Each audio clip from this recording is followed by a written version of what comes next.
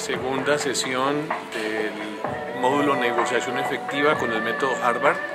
Hemos estado trabajando primero con una introducción a lo que es la negociación, lo que es el enfoque de Harvard, que es de Roger, Roger Fisher y William Uri.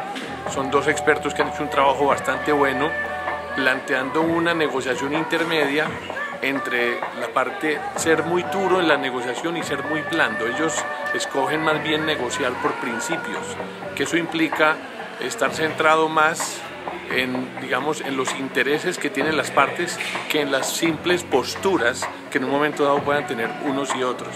O sea que ahí, ahí va la parte esencial del método.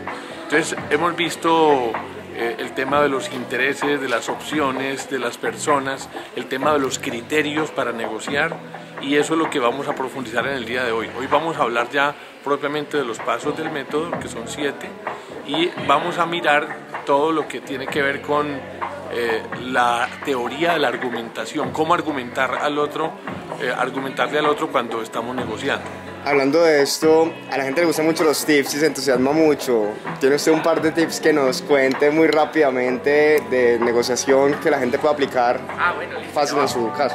El primer tip es el que recomienda Roger Fisher y es muy claro, es céntrese más en intereses que en posturas.